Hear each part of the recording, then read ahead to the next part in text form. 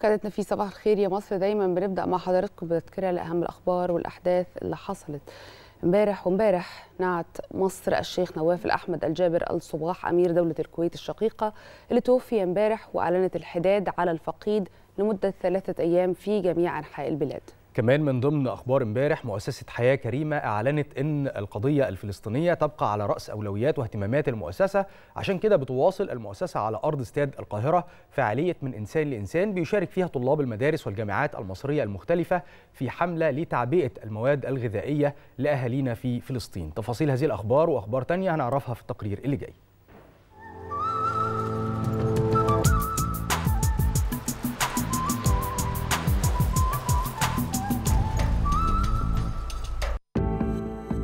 أخبار كتيرة مهمة حصلت امبارح. أبرزها بيان رئاسة الجمهورية اللي قال نعت جمهورية مصر العربية الشيخ نواف الأحمد الجابر الصباح أمير دولة الكويت الشقيقة الذي وافته المنية السبت الموافق 16 ديسمبر 2023 وينعى الرئيس عبد الفتاح السيسي والشعب المصري الزعيم الفقيد الرجل العظيم الذي كان داعما لأمته العربية والإسلامية حريصا على شؤونها حكيما في قيادته وقدم الكثير من البذل والعطاء لبلاده وللأمتين العربية والإسلامية.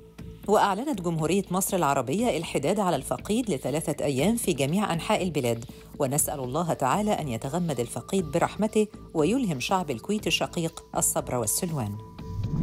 امبارح أعلنت مؤسسة حياة كريمة إن قضية أهلنا في فلسطين الحبيبة تبقى على رأس أولويات واهتمامات المؤسسة وحيث تواصل المؤسسة على أرض استاد القاهرة فعالية من إنسان لإنسان. ويشارك أبنائنا من المدارس والجامعات المصرية المختلفة في حملة لتعبئة المواد الغذائية لأهالينا في فلسطين وبتتضمن العديد من الأنشطة وورش العمل المختلفة بجانب إطلاق 500 فانوس طائر كدعوة للسلام ووقف جرائم الحرب والتهجير ضد أطفال ونساء فلسطين. امبارح أكد الدكتور أحمد السبكي رئيس الهيئة العامة للرعاية الصحية والمشرف العام على مشروعية التأمين الصحي الشامل وحياة كريمة بوزارة الصحة والسكان إن هيئة الرعاية الصحية ستصبح هيئة ذكية رقمية بالكامل مع بداية العام الجديد 2024 وأشار إلى أن ذلك يأتي تماشياً مع جهود الدولة في بناء مصر الرقمية وتحقيق أهداف التنمية المستدامة في القطاعات المختلفة لا سيما قطاع الرعاية الصحية وبما يتماشى مع تحقيق أهداف مصر في الجمهورية الجديدة. أما بالنسبة لجولة المحافظات ففي محافظة أسيوط تم تنفيذ أعمال الرصف بقرى صدفة بتكلفة 45 مليون جنيه. في الفيوم بيتم الاستعداد لاحتفال تعامد الشمس على معبد قصر قارون يوم الخميس اللي جاي إن شاء الله.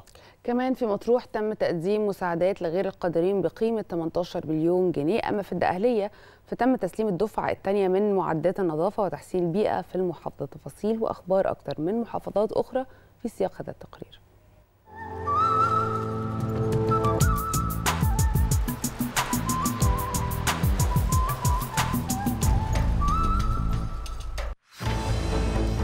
محافظات مصر شهدت امبارح أخبار وأحداث كتيرة. في بورسعيد أكدت المحافظة أن المنطقة الصناعية جنوب بورسعيد اقتحمت مجال تصنيع الأعلاف لأول مرة وتم الانتهاء من أكثر من 90% من أعمال إنشاء مصنع إنتاج الأعلاف بجنوب بورسعيد وده استعداداً لتشغيله خلال أعياد النصر. في المنوفية أعلنت مديرية الثقافة تنظيم 41 فعالية من الأنشطة الثقافية والفنية المتنوعة بمختلف مراكز ومدن وقرى المحافظة. وده طوال شهر ديسمبر الحالي بهدف ترسيخ الهوية المصرية وتعزيز القيم الإيجابية داخل المجتمع لتربية النشء وتأهيلهم ثقافياً وذهنياً وتحصين وعيهم من الأفكار المتطرفة. في أسيوط أعلنت المحافظة أنه بيجري تنفيذ أعمال الرصف وتركيب بلاط ال interlock بقرى مركز صدفة ضمن مشروعات الخطة الاستثمارية للعام المالي الحالي بتكلفة 45 مليون جنيه بالتنسيق والتعاون بين كل الجهات المعنية من أجل تقديم أفضل الخدمات للمواطنين في القطاعات المختلفة. في الفيوم بتستعد المحافظة للاحتفال بالظاهرة الفلكية الفريدة اللي بتتكرر صباح يوم الحادي والعشرين من شهر ديسمبر من كل عام حيث تتعامد الشمس على قدس الأقداس بمعبد قصر قارون وبتستمر قرابة 25 دقيقة وبيعتبر ده حدث عالمي وظاهرة فلكية وجرى تشكيل لجان أثرية وسياحية وأمنية بالإضافة للأجهزة التنفيذية في المحافظة للإعداد للاحتفالية اللي هتقام بمنطقة قصر قارون في مركز يوسف الصديق. في الشرقية أصدرت المحافظة قرار بالموافقة على ترقية 1233 من العاملين بديوان عام المحافظة والوحدات المحلية التابعة بالمراكز والمدن والأحياء. أيضاً تقرر منح 1134 من العاملين بالديوان العام والوحدات المحلية التابعة حافز بنسبة 5% من الأجر الوظيفي لمن أتموا في درجتهم ومستوياتهم الوظيفية المسكنين عليها في 30 6 2023 مدة أكبر من ثلاث سنين. في مطروح أكدت المحافظة إنها ساهمت في تقديم مساعدات إنسانية ومالية لغير القادرين من أبناء المحافظة بقيمة 18 مليون جنيه كإجراء عمليات جراحية وأدوية وتكاليف زواج وغيرها.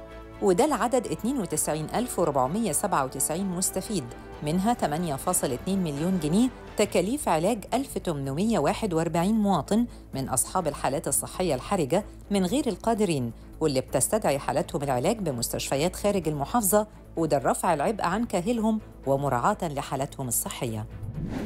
في الدقهلية شهدت المحافظة تسليم الدفعة الثانية من معدات النظافة وتحسين البيئة بعدد خمس معدات بتكلفة إجمالية 10 مليون جنيه تقريباً ضمن الخطة الاستثمارية العام 2023-2024 في بني سويف أعلنت المحافظة إن إجمالي قيمة المشروعات اللي تم تمويلها من خلال المشروع القومي للتنمية المجتمعية والمحلية والبشرية مشروعك وصل ل 2 مليار 395 مليون 438 ألف جنيه واستفاد منها 26332 مشروع صغير وده منذ انطلاق المبادرة في مايو عام 2015 وحتى نهاية نوفمبر 2023